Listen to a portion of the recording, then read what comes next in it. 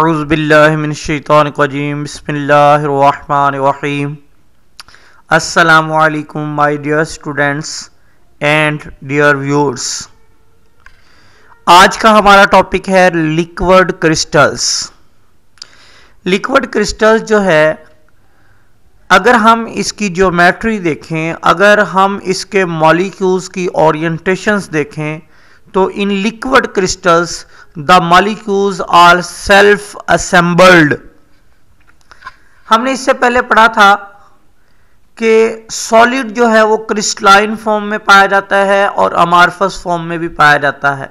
यानी कहने का मतलब ये है कि जो क्रिस्टलाइन प्रॉपर्टीज़ थी, वो बिलोंग करती थी सॉलिड के साथ। लिक्विड में क्रिस्टलाइन फॉर्म नहीं पाई जाती थी। लेकिन लिक्विड क्रिस्टल जो है, ये एक ऐसी फ़ेज़ है, या ऐसी मैटर की स्टेट है, जो सॉलिड और लिक्विड के बीच एक फ़ेज़ है।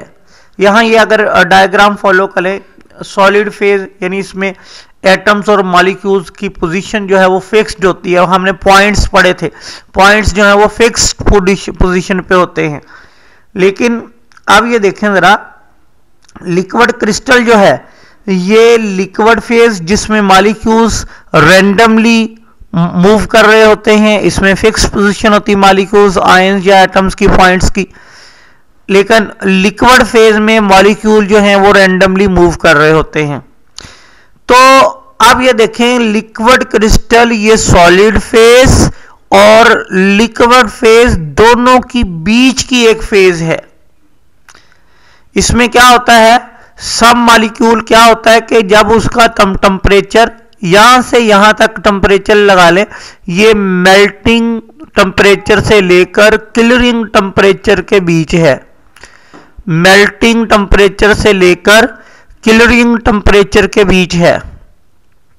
तो यहाँ तक इन जो लिक्विड होगा, इसके मॉलिक्यूल की ओरिएंटेशन अगर यानी कि वो मूव भी करेंगे तो वो फिक्स्ड ओरिएंटेशन में मूव करेंगे। उनकी फिक्स जियोमेट्री होगी और यानी वो भी पॉइंट्स की तरह फिक्स्ड हो जाएँगे। लेकिन अगर इसको मजीद हीट अप करें तो इनकी पोजीशन रैंडम भी हो सकती है।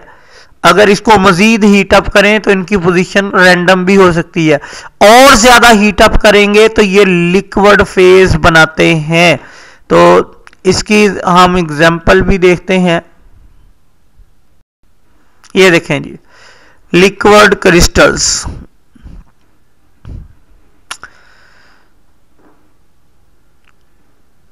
ये देखें जरा a liquid crystal is a phase between solid and liquid state ये देखें जरा, एक तरफ़ ये क्रिस्टल है, दूसरी तरफ़ लिक्विड है, ये इंटर ये क्रिस्टल जो लिखा है, ये सॉलिड फ़ेज़ को लिखा गया है। क्रिस्टलाइन प्रॉपर्टी सॉलिड्स के अंदर पाई जाती हैं। कहते हैं इसको हीट करेंगे तो एक इंटरमीडिएट फ़ेज़ आएगी, वो इंटरमीडिएट फ़ेज़ जो है यहाँ पर ये मेल्टिंग टेम्परेचर होगा और यहाँ पर ये क्लियरिंग टेम्परेचर होगा। ये इंटरमीडिएट फ़ेज़ दो टेम्परेचर के बीच पाई जाती है। और ये इंटरमीडिएट फ़ेज़ जो है, ये लिक्विड क्रिस्टल कहलाती है। यानी इसका टेम्परेचर सॉलिड से ज़्यादा होगा लिक्विड से कम होगा। यानी हम यूँ कह सकते हैं, ये दो टेम्परेचर के बीच की हालत है। दो टेम्परेचर के बीच की हालत है, यानी मेल्टिंग टेम्परेचर जिस पे सॉलिड बल्कि यहाँ एक बात याद रखें कि सॉलिड जो है वो अमार्फस सॉलिड नहीं होना चाहिए।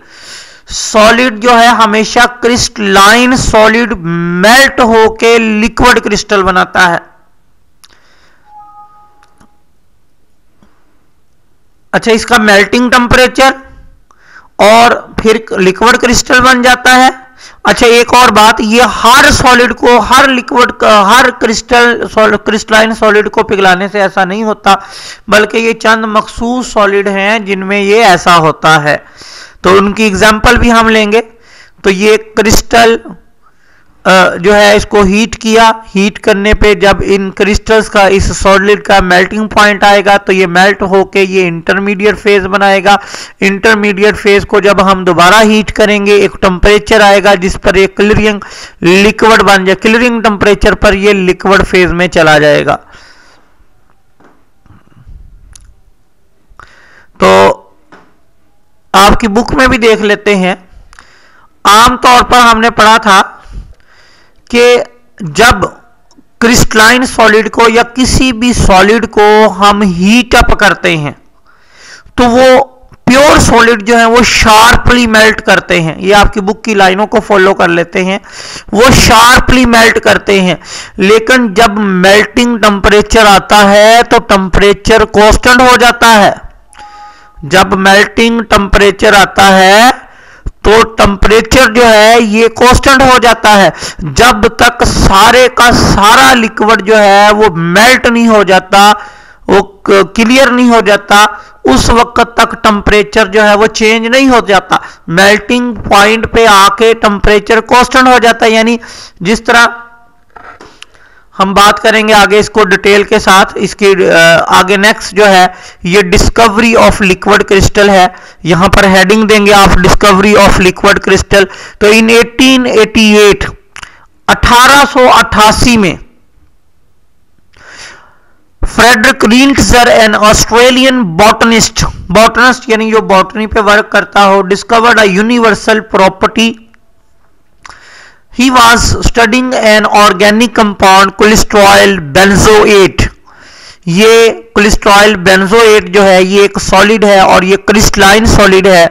This compound turns milky this compound turns milky at 145 Celsius ये कंपाउंड जो है, ये मिल्की हो जाता है 145 सेल्सियस जो कि इसका ये एक मेल्टिंग टेम्परेचर है, इस पर ये मेल्ट होके मिल्की टर्बड फ़ेज़ बनाता है and become clear liquid at 179 Celsius और बिल्कुल क्लियर लिक्विड हो जाता है, बिल्कुल वाजह लिक्विड हो जाता है तो at 179 Celsius when a substance is cooled जब इसको ठंडा किया जाता है, जैसे मैंने लास्ट डायग्राम अभी आपको स्लाइड में दिखाई थी, कि जब इसको कूल cool करेंगे कूल cool करने से ये दोबारा वही लिक्विड टर्बिड फ़ेज़ बनाएगा मिल्की फ़ेज़ बनाएगा.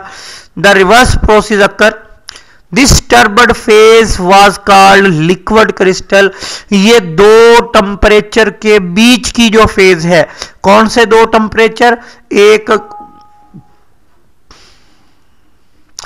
एक कौन सा टेम्परेचर है? मेल्टिंग टेम्परेचर दूसरा कौन सा टेम्परेचर है?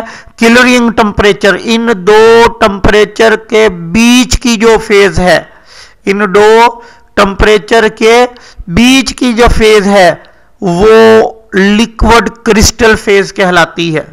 लिक्विड क्रिस्टल फ़ेज़ कहलाती है। तो यहाँ पर हमने डिस्कवरी भी पढ़ ली तो डेफिनेशन भी वो इसने देखिए क्रिस्टलाइन सॉलिड की लिखी है।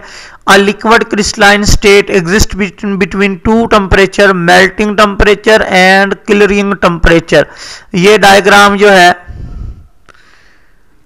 ये शो की है इसने। इस डायग्राम में देखें crystal liquid crystal and liquid ये क्रिस्टलाइन सॉलिड है, ये लिक्विड क्रिस्टल है, यहाँ पर ये मेल्टिंग टेम्परेचर पे मेल्ट करके लिक्विड क्रिस्टल बन गया, एक टर्बड फ़ेज़ बन गई, इसको मजीद हीट अप किया तो ये अपने क्लियरिंग टेम्परेचर पे आके क्लियर लिक्विड बन गया। अच्छा एक बात याद रखें इसकी लिक्विड क्रिस्टलाइन की अगर प्रॉपर्टी की बात करेंगे तो ये लिक्विड की तरह, ये देखिए जरा they have properties like liquid as surface tension कहता है इसकी सरफेस टेंशन भी होती है, इसकी विस्कोसिटी भी होती है।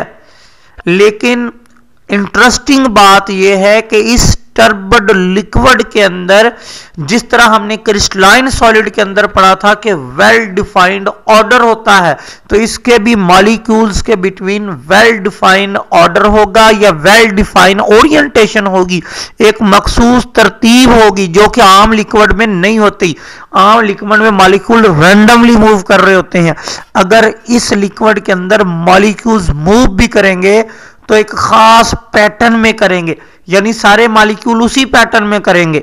तो वो एक लिक्विड क्रिस्टलाइन फॉर्म बन जाएगी, लिक्विड क्रिस्टलाइन फ़ेज़ बन जाएगी। ये आई थिंक कि आपको क्लियर हो गया होगा? अब हम दोबारा इस स्लाइड पे आते हैं कि liquid crystal the molecules are self assembled.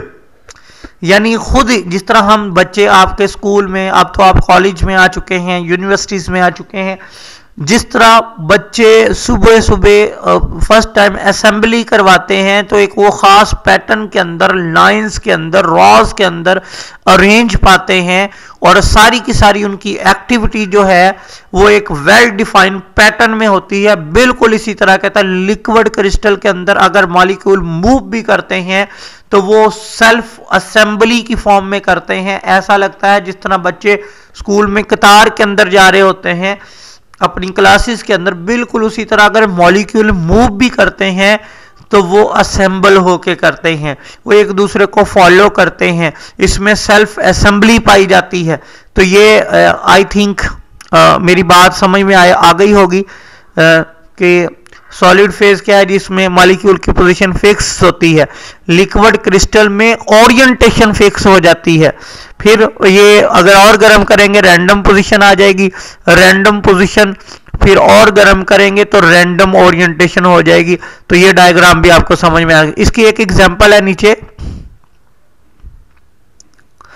Liquid crystals are abundant in cellular membranes जो आपने फ्लूड मोजिक मॉडल पढ़ा था। याद है आपको बायोलॉजी वाले स्टूडेंट्स अच्छी तरह जानते होंगे fluid model fluid mosaic model के मुताबिक जो सेल मेम्ब्रेन होती है या कोई भी सेलुलर मेम्ब्रेन होती है उसका अगर हम स्ट्रक्चर पढ़ेंगे तो उसमें लिपड बायलेयर होती है, यानी लिपड की दोहरी तय होती है। ये लिपड की दोहरी तय जो है, ये लिक्विड क्रिस्टल का व्यू देती है वहाँ पे। जी। हमने पढ़ा था cell membrane is dynamic structure cell membrane या plasma membrane is a dynamic structure तो वो लिक्विड उसमें जो लिपड बायलेयर होती है वो लिक्विड क्रिस्टल की फॉर्म में होती है जी। तो इसकी डिटेल जो है वो आप फिर कभी करेंगे। अब इसकी ये देखें आ, कुछ आ, जो है सॉलिड लिखे हैं जो लिक्विड क्रिस्टलाइन फॉर्म में पाए जाते हैं। इसमें देखें क्रिस्टॉयल प्लर्गोनेट। इसका मेल्टिंग पॉइंट 74 से 77 सेल्सियस के दरमियान में होता है। तो इसमें ये लिक्विड टर्बिड फ़ेज़ में पाया जाता है। इसका किलरिंग टेम्परेचर नहीं लिखा, यानी ये लिखा हुआ है कि ये 74 सेल्सियस से 70 सेल्सियस सेवन सेल्सियस के दरमियान पिघल कर ये लिक्विड क्रिस्टल फॉर्म में चेंज होना शुरू हो जाता है। उसके बाद ये आपकी बुक वाली ही एग्जांपल है कोलेस्ट्रॉल बेंजोएट ये 145 सेल्सियस से 150 सेल्सियस पर पिघलना शुरू कर देता है। तो इसी तरह और भी एग्ज़ाम्पल है। अब ये देखें जरा कि ये कौन कौन सी फॉर्म में पाए जाते हैं। इसमें कौन कौन सी फ़ेज़ होती है, या हम यूँ भी कह सकते हैं टाइप्स ऑफ़ लिक्विड क्रिस्टल तो इसकी अरेंजमेंट पहली अरेंजमेंट देखें, इसकी सिमेक्टिक अरेंजमेंट है। इस अरेंजमेंट में लिक्विड के मालिक्यूल्स क्या करते हैं? Molecules parallel and in the layer ये देखें, इस लिक्विड क्रिस्टल में क्या होगा? मालिक्यूल्स एक दूसरे के पैरल हो जाएँगे। और देखो नीडल लाइक रॉड लाइक ये बना रहे पैरल हो जाएँगे और ये लेयर बना लेंगे। और नमैक्टिक नमैटिक सॉलिड में देखें, ये क्या होगा? Molecule parallel but not in layer layer नहीं बनाते पैरल हो जाते हैं, लेकिन लेयर नहीं बनाते। उसके बाद आ गया कोलेस्ट्रिक कोलेस्टर कोलेस्ट्रिक कोलेस्टेरिक सॉलिड इसमें क्या होता है? मॉलिक्यूल्स इन हेलिकल लेयर्स आपकी बुक में जस्ट इनके नेम लिखे हुए हैं। आपकी बुक में जस्ट इनके नेम लिखे हुए हैं तो ये इनकी शेप भी देख लें, या कई वर्क बुक्स पे इसकी शेप बनी हुई है। तो अब हम बात करेंगे आ, इनकी यूजेस की यूजेस की। ये सारा कुछ ये मैंने बता दिया। यहाँ देखें liquid crystal can be divided into nematic smectic and cholesteric ये इसकी मैंने डायग्राम भी दिखा दिया आपको। उम्मीद है आपको समझ आई आ गई होगी। तो आ, अब हम इसके यूजेस पढ़ेंगे। Liquid solid, like solid crystal. Liquid crystal can diffract light. ये एक ऑप्टिकल प्रॉपर्टी है कि जब क्रिस्टल क्रिस्टलाइन सॉलिड पर आकर लाइट रेडिएशन टकराती हैं तो डिफ्रैक्शन एक ऑप्टिकल फिनोमिना है। जिस तरह आपने रिफ्रैक्शन पढ़ा था रिफ्लेक्शन पढ़ा था, इसी तरह डिफ्रैक्शन आप फिजिक्स में पढ़ते हैं। कि इसमें diffraction properties liquid sorry solid crystalline में पाई जाती हैं। बिल्कुल इसी तरह लिक्विड क्रिस्टल में भी ये प्रॉपर्टी जो है वो पाई जाती हैं। When one of the wavelength of the white light white light आप जानते हैं, मैंने आपको कई दफ़ा क्लास में भी बताया है कि व्हाइट लाइट जो है, इसकी वेवलेंथ 400 नैनोमीटर से 800 नैनोमीटर के बिटवीन होती है। इसके अलावा भी बहुत सारी लाइट रेडिएशन होती है, जिस तरह अल्ट्रा वायलेट लाइट होती है, या एक्सरे रेडिएशन होती हैं गैमा रेडिएशन होती हैं। इसके अलावा माइक्रोवेव्स हैं। ये यहाँ जस्ट वाइट लाइट जिसे हम विजिबल लाइट भी कहते हैं, उनकी बात हो रही है। तो कहता है, जब वाइट लाइट लिक्विड क्रिस्टल पर पड़ती है तो ये रिफ्लेक्ट करती है। Reflected from a liquid crystal it appears coloured तो फिर जिस तरह हम देखते हैं डायमंड में से जब लाइट रिफ्लेक्ट करती है तो वो कलर शो करती है। बिल्कुल इसी तरह लिक्विड में जब वाइट लाइट जो है रिफ्लेक्ट करती है तो वो कलर शो करती है। As temperature changes, the distance between layer of the molecule of the liquid crystal changes. अब वो कहते हैं, जैसे जैसे हम लिक्विड क्रिस्टल का टेम्परेचर चेंज करते हैं तो लिक्विड क्रिस्टल के जो मॉलिक्यूल्स की लेयर है, अभी हमने लेयर देखी। स्मेक्टिक लिक्विड क्रिस्टल में लेयर्स पाई जाती है नोमैटिक में जस्ट ये पैरल ओरिएंटेशन शो करते हैं। तो ये जो लेयर्स होती हैं, जब इनका टेम्परेचर हाई करते हैं, इनका टेम्परेचर बढ़ता है तो लेयर्स के मालिक्यूल लेयर्स के दरमियान डिस्टेंस इंक्रीज कर जाता है। जब लेयर्स के दरमियान डिस्टेंस इंक्रीज करेगा तो क्या होगा कि इनका जो रिफ्लेक्शन पैटर्न है वो चेंज हो जाएगा। जब रिफ्लेक्शन पैटर्न चेंज हो जाएगा तो इनकी कलर स्कीम भी चेंज हो जाएगी। जब रिफ्लेक्शन पैटर्न चेंज हो जाएगा तो इनकी कलर स्कीम भी चेंज हो जाएगी। जब कलर स्कीम चेंज होगी तो ये चेंड कलर स्कीम जो है, यही लिक्विड क्रिस्टल का यूज़ है कि इससे हम टेम्परेचर चेंज करके मतलब किस टेम्परेचर पे इसका कलर्स कौन से कलर्स शो करेगा? अदर टेम्परेचर पे कौन से कलर्स शो करेगा? यानी डिफरेंट टेम्परेचर पे इनके कलर जो हैं वो डिफरेंट होंगे। जिससे हम बहुत सारे, ये कलर चेंजिंग स्कीम से हम बहुत सारे एप्लीकेशन लेते हैं, बहुत सारे वर्क लेते हैं। तो इसलिए लिक्विड क्रिस्टल जो है, ये टेम्परेचर सेंसर के तौर पर यूज़ होते हैं।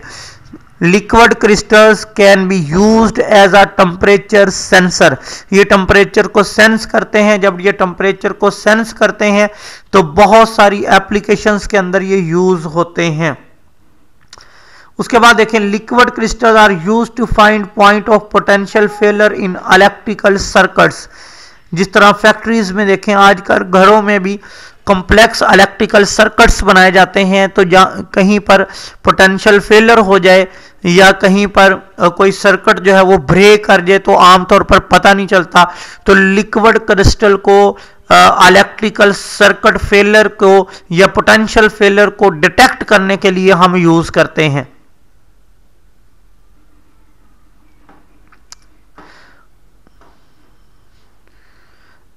As the temperature changes figure show up in different colour यहाँ भी वो कहता है जो कलर पैटर्न चेंज होगा टेम्परेचर वहाँ कम होगा पोटेंशियल फेलर की सूरत में तो इसके मॉलिक्यूल्स के दरमियान डिस्टेंस जो है, वो बढ़ जाएगा। इसी तरह हमारी ह्यूमन बॉडी के अंदर आर्टरीज को liquid crystalline substance are use to locate veins veins वो ब्लड की वेजल्स होती हैं, वो खून की नालियाँ होती हैं, जिनमें डीऑक्सीजनेटेड ब्लड होता है, जो ब्लड जो है वो वापस हार्ट की तरफ़ लेकर आ रही होती हैं arteries infection and the tumours अब यहाँ पर कोई प्रॉब्लम होगी ट्यूमर्स होगा इन्फेक्शन होगा, वहाँ का टेम्परेचर रेस हो जाता है। अब लिक्विड क्रिस्टल वहाँ पर लिक्विड क्रिस्टल स्ट्राइप होती है, ये वहाँ पर प्लेस करेंगे तो अगर वहाँ का टेम्परेचर ज़्यादा है तो ये अपना कलर पैटर्न चेंज करेगा, जिसकी वजह से हम डिटेक्ट कर लेंगे कि यहाँ कोई गड़बड़ है। तो ये, यहाँ पर भी ये टेम्परेचर सेंसर का ही काम करेगा।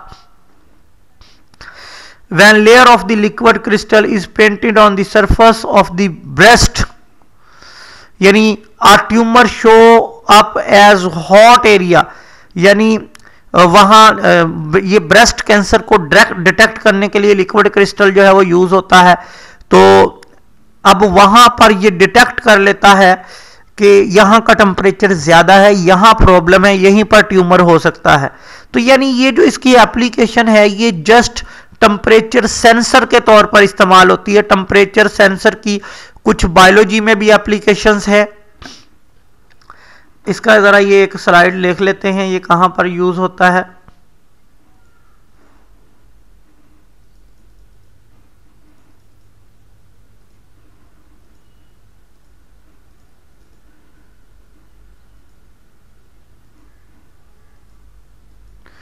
ये देखिए ज़रा ये एप्लीकेशन ऑफ़ लिक्विड क्रिस्टल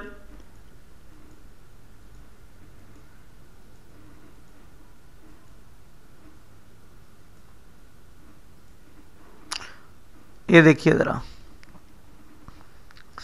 ये बहुत सारी एप्लीकेशन लिखी हुई है liquid crystal can be found in following devices digital watches pocket TVs जो छोटे टीवीज होते हैं, जिस तरह मोबाइल लाइक स्क्रीन होती है gas pumps parking meters telecommunications cell phones and pagers high speed computing digital sign boards electronic games personal digital assistants electronic books यानी ये लैपटॉप नमा होती हैं। Calculators digital cameras and camcorders fish finders thermometers इन सब में ये liquid crystal जो है वो यूज़ होता है।